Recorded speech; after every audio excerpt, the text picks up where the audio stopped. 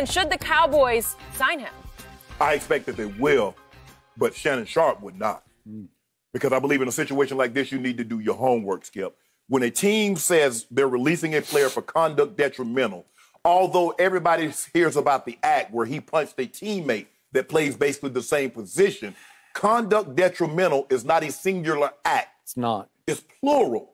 Okay, so what led up to conduct detrimental? What are the series of events? What is the chain of events that got us here? Skip, you're releasing a guy three weeks before the season that you just gave a boatload of money to. Why? What is it? What's the underlying theme? See, people think, well, well, uh, when when the Ravens released Ravens, when the uh, Raiders released Antonio Brown for conduct detrimental, Yep. Skip, it wasn't that singular act. It wasn't just because it was the ballroom, it was the late, it was the tardiness. So in a situation like this, I believe it's the very same thing. Was it missed practice, miss, missed meetings, late to practice, late to meetings? How what was his conduct in the locker room? Skip, let me tell you something. I would like to think I had a lot to do with some of the some of the uh, uh, the, the relationships Yep. and how the Ravens locker room is conducted. Because I thought Ozzie Newsome did a great thing when he brought myself and Rod Woodson, Rob Burnett was a former Cleveland Browns that was brought to Baltimore. And Mike McCrary, I thought Ozzie did a great job of infusing a lot of veteran players with some of the youth. And my job and Rod's job was, as accomplished players, is to let the other players know this is how you conduct yourself. Because we weren't going to always be there, Skip. And those young players, the Ray Lewises, the Peter Boulwares, those Chris McAlisters, all those guys, Jamal Lewises, they were going to be there. So this is the way you conduct yourself.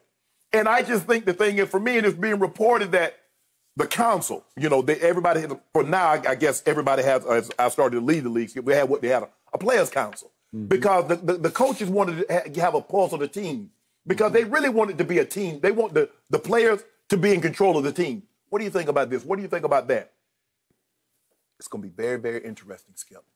I'm going to listen over the next three to four days mm-hmm. how many of the Ravens players come out in support of Earl Thomas. Yeah. That's going to tell you everything you need to know. Now, this is what we know for 1,000% for certain. There are two player friendly locker rooms that said, nah, we good, bro. That's all you need to know. Mm-hmm. Pete Carroll, the Seahawks run that locker room. Mm-hmm. The Baltimore Ravens, I've been in that locker room. Yep. The players, they let you do it. Mm-hmm. And they said, nah, we good. Yep. Something is going on that they said, we would rather be without you. Remember, Skip, the old saying is, we'll tolerate you until we can replace you. That is correct. And they can only tolerate this man for one year. Okay. So, as most people who watch the show know, I have campaigned for the Dallas Cowboys to sign Earl Thomas for three years. and I thought twice it was going to happen, and it did not happen. And I don't know exactly what went on behind the scenes, but at one point it looked like the Cowboys had him for a second round choice. And then at the last second, according to multiple reports, Jerry Jones was apprised by John Schneider, who runs the Seahawks. No, it's going to be a one now. And Jerry said, Oh, I thought we had a deal for two. Sounds like Dak Prescott and his agent. Rug jerked out from under oh, Jerry. Jerry. End of story. So I'm going to read now. We'll, we'll go back to what Jason Garrett, you know, when he ran after Jason mm-hmm. Garrett and said, Come get me. And, and my question is, Come get what? Because I still my leaning is is against yours. I would still probably close my eyes and sign him, but I think this is trouble, and I don't think we have enough show for me to detail all the trouble that he caused, especially in Baltimore. Mm-hmm. Peter King wrote this morning.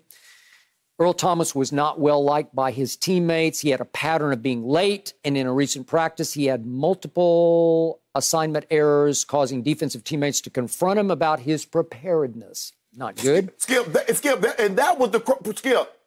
He blew the assignment He did. and got mad at the guy because he called him out. He missed at least one walkthrough with no valid excuse. Sounds like AB in Oakland, right? Mm-hmm. When the incident at Friday's practice happened, very few, if any, teammates came to his defense. Teammates backed Clark, the significantly lesser name. That's Chuck Clark, who was mm-hmm. a six round draft choice out of Virginia Tech. Yes. What was it? Two, three, well, now it's three years ago. 2018, I think. Yep. And he started 12 games last year, so he wasn't even a full time starter last Correct. year, and teammates are backing him because on the play in question, Earl Thomas just decided on his own, I'm going to blitz. and all of a sudden it, he gave up a deep touchdown wide open and Chuck Clark took his helmet off because he was so frustrated with all of the missed assignments and threw it against the turf. Right. And here came Earl Thomas and punched him out. Yes. That was basically the end Right. of Earl Thomas in Baltimore. So what did he say? Remember, the, the Ravens signed him, and I knew at that point the, Ca- the Cowboys couldn't even get in the Derby for him Right. because he got $55 million. And it was four years, 55. It was that's 32 million was guaranteed at Yeah. signing. Yikes. He got 22 Yeah. and he got 10 this year's salary. largest in the franchise history ever given to a non-quarterback. So nobody on defense and nobody else besides the quarterback on offense had ever gotten that kind of. And of they got three Hall of Famers on that deal. Ray Lewis, Suggs, and Ed Reed. Thank you. Never got that. Thank you. So during spring workouts with the Ravens the first time around, Thomas acknowledged that the Ravens defense was complex compared to the one run in Seattle. And you know what Seattle did? They just ran cover three every play. Just let 'em- Here we are. Thank you. Here we are Thank because we're better than you. Yes. I got Sherm over here and I got Kam over there. You know, I, I got Yes. it. Come get it. Bobby. KJ, Right. good. I, I got it. And we're not going to do anything complex. Right. We're just going to beat you Right. because we're better than you. Right. So he's saying, I haven't really enjoyed playing this defense that much. Earl's just saying it. And, and I'm sure the Ravens are like, well, well, we've been doing this for a long time here and we're really good at it. Right. So last year there were all kinds of breakdowns. Even though Earl was voted to the Pro Bowl, was it somewhat on reputation? Mm-hmm. Probably. They were the they allowed the third fewest points of any defense in football. So did he contribute to that? Sure he did. Were they 14 and 2, the best record in the NFL? Yes. Yes, they were.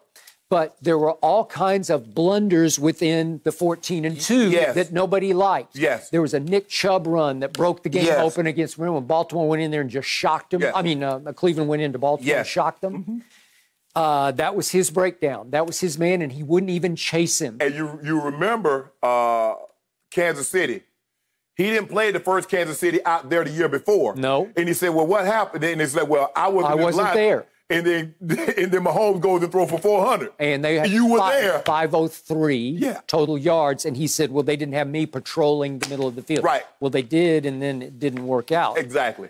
And then there were all kinds of other incidents. He missed uh, uh, after the game he played at Seattle, which they won. So Mm-hmm. he was gloating about that. They had a bye week, and he just dropped out of sight and didn't make it to the team plane after the game because I guess he wanted to just go on his own and stay for a week in Seattle. Mm-hmm. Yes. Fine, but shouldn't you clear it through your head coach, who's Leave, so you leave early come back late. okay? And then there was the incident that I don't want to get too deep into with his wife, who went to the rental house with a loaded gun and put it to his head because she was accusing him of cheating on her at their rental house. I think it was in Austin. Mm-hmm. Right. And okay, and, and he did not apprise the Ravens of that until it hit It, right. the, the social media. His be, his pattern of behavior, like I said, conduct detrimental Mm-hmm. because they got to. So they got documentations of all of this. Yep. Because in order for you, and people like, well, they didn't suspend him. They had. I'm sure he's been fined heavily because when you late, you miss, they find you. Right. It's a documentation that's leading up to this. This was the straw that broke Mm-hmm. It the camel's was. back. I agree. But there were a lot of straws that were commu- uh, accumulated that was placed on this camel Mm-hmm. I got to it. where he couldn't bear it anymore. I agree. And they were like, And finally, he posted the practice video of the broken play in question Yeah. in which he blitzed. Yeah. He posted it briefly, then deleted it, which is against team rules. He got a hold of their internal practice video and posted on social to defend himself. It's a broken rule. Just one more. yeah. And it tells you everything you need to know why they needed to move on. Okay. That's the very reason. Because, see, Earl doesn't think rules are applicable to him. Mm-hmm. A lot of times, Skip, when you go somewhere and you as accomplished as he is, Yeah. he is an all pro, he's won a Super Bowl. You come in and his communication skills are not great. Like you said, well, there's not a whole lot of talking need to be had. You line up in, in single high safety, robber coverage. You just line up in skip and we go play football. And it sounds like he was just freelancing Yes. in the Baltimore defense. I think I'll blitz this play. Skip, you can freelance, Mm-hmm. and if and sometimes you can make play. Look, the greatest freelance of all time was Ed Reed. But if Ed got out of position and they got a play, you're like, my bad. I thought I saw this. I didn't see it. He would own up to it. I got if it. you freelance, you get out of position, you give up plays, and you don't own up to it, eventually, Skip, they're going to like, man, this is some bull jive, coach. He doing his own thing out here and got us all looking bad, Mm-hmm. and he won't own up to it. They had Skip Okay, that council. I got it. I still say if you could bring Earl back to his home state, he grew up a Cowboy fan in South Texas. Yes, If you brought him back to Dallas and his ego was on the line, his reputation was on the line to show people he's not that guy that he got portrayed as being in Baltimore. Well, what about Seattle? okay, or Seattle. I got it. I got it. But if if you became the missing piece to the defensive puzzle because you were on the hot seat, you got to produce, but you came in for a, a Cam Newton style contract Right. in New England where it's like 1 million base and Right. Some incentives. Mm-hmm. By the way, they just did redid Ty Smith's contract yet again. Saving about seven million against the cap, but it was earmarked for Dak, Right. maybe into next year. Right. So I don't know. Would they try it? I would probably close my eyes and try it. But every point you made, all the signs are bad, bad, bad, bad, bad. I got it. But as we get older mm-hmm. and you play defense, you can't freelance as much because you don't have the athleticism to recover. That's the thing. Rod Woodson, one of my good friends, Rod played 17 years, but he knew how to get himself in He did. position. But as you get older, Skip, all that freelancing, well, I'm gonna do this, I'm gonna disguise it. You can't do it. Your athletic skills start to d- diminish, Yep. and you get get exposed. Be careful, Scary. Dallas. Yeah. Be careful. Thank you for watching. You can subscribe here to get the latest from the show and be sure to check out more of the best clips from Undisputed or go watch a few other segments from our other shows on FS1.